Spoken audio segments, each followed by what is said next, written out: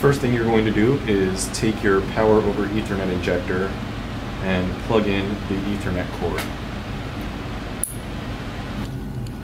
Unscrew the bottom of the Rogue Wave.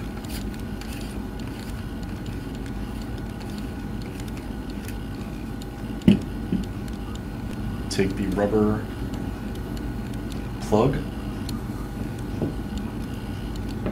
put it around your Ethernet cord, insert your cord mm-hmm. into the bottom slot, and reseat the plug into the recess.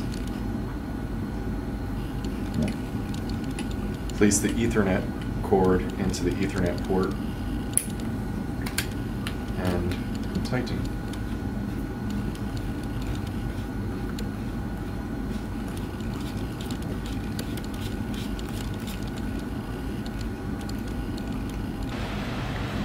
Plug in your 12 volt power adapter.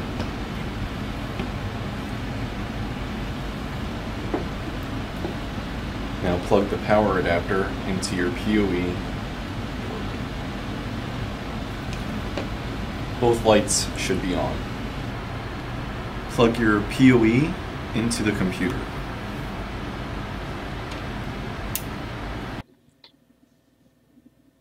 Open up your web browser and in the address field type in 192.168.89.1 or ec.wavewifi.com.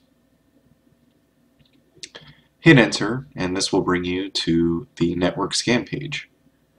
From here you can simply click on whichever SSID you're looking for and enter the network credentials.